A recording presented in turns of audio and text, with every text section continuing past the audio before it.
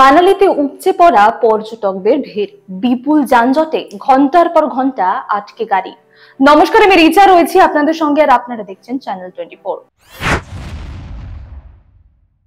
শনিবার প্রচুর সংখ্যক পর্যটক মানালি পৌঁছেছেন তুষার দেখার জন্য। তাদের বেশিরভাগই মানালি থেকে লাউহর উপত্যকায় শিশু এবং কোকসারের দিকে চলে গিয়েছে।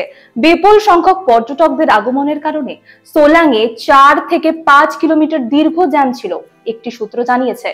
মানালি থেকে অটল টানেল এবং শিশু পর্যন্ত ট্রাফিক জ্যাম ঘন ঘন হয়ে উঠেছে।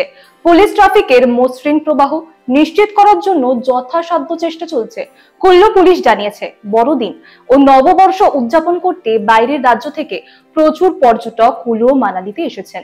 আইন ও ট্রাফিক ব্যবস্থার মসৃণ কার্যকারিতা নিশ্চিত করার জন্য কুলু পুলিশ বিভিন্ন জায়গায় পুলিশ কর্মী মোতায়েন করেছে এবং আইন লঙ্ঘনকারীদের বিরুদ্ধে ব্যবস্থা নেওয়া হচ্ছে। একজন সিনিয়র পুলিশ আধিকারিক বলেছেন যে, বাইরের রাজ্য থেকে আসা অনেক পর্যটক চালকদের আয়নায় কালো পর্দা রয়েছে এবং পুলিশ ওই ধরনের যানবাহনের জন্য চালান জারি করেছে।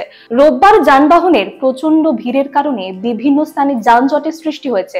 শনিবারও মানালির অনেক জায়গায় যানজট ছিল। সাধারণত মানালি থেকে অটল টানেলে পৌঁছতে পঁয়তাল্লিশ মিনিট সময় লাগে। তবে যানজটের কারণে পর্যটকদের জন্য তিন থেকে চার ঘণ্টা সময় লেগেছে। পিচ্ছিল রাস্তার কারণে শিশু অভিমুখে আসা পর্যটকদের একই পথ কভার করতে সময় লেগেছে ছয় থেকে সাত ঘণ্টা।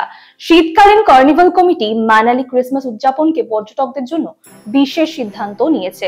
বড়দিনে মল রোডেও মেগা লোকনৃত্য হবে বলে কমিটি এসব ধরনের প্রস্তুতি নিয়েছে।